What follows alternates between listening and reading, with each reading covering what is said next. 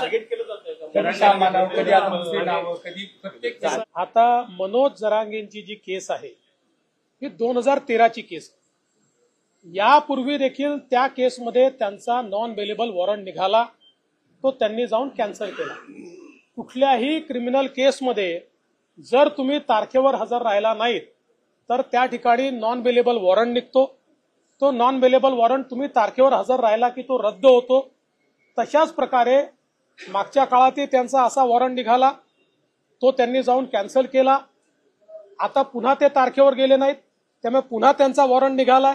त्याच्याशी आमचा कोणाचाही संबंध नाही आहे ते जर तारखेवर गेले तर जज तो वॉरंट कॅन्सल करतील. आमच्याही बद्दल असे वॉरंट निघाले आहेत यापूर्वी. आमच्यावर अनेक आंदोलनाच्या केसेस आहेत.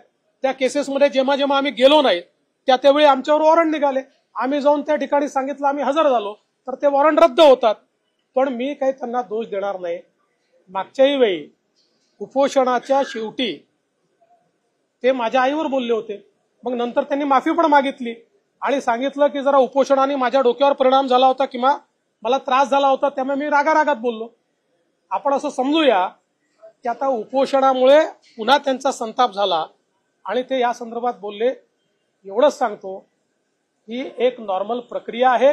ज्या प्रक्रियेमध्ये क्रिमिनल केसमध्ये तुम्ही जर हजर झाले नाहीत तर तुमचा नॉन बेलेबल वॉरंट निघतो. तुम्ही हजर झालात की तो वॉरंट कॅन्सल होतो. सातत्याने तुम्हाला आता टार्गेट केलं जातंय. सरकार असताना मी फक्त देवेंद्र फडणवीसांवर मी टीका मी मी तुम्हाला प्रश्न विचारतो की देवेंद्र फडणवीसला टार्गेट कोण करेल? कोणाला फायदा आहे देवेंद्र फडणवीसला टार्गेट केल्यामुळे?